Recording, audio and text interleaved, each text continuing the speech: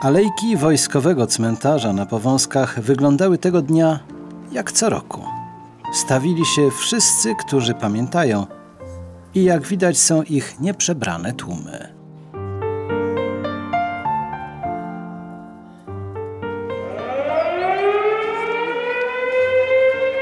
Zabrzmiały syreny, odezwały się dzwony o godzinie 17 godzinie W. Całe miasto się zatrzymało, bo Warszawa pamięta.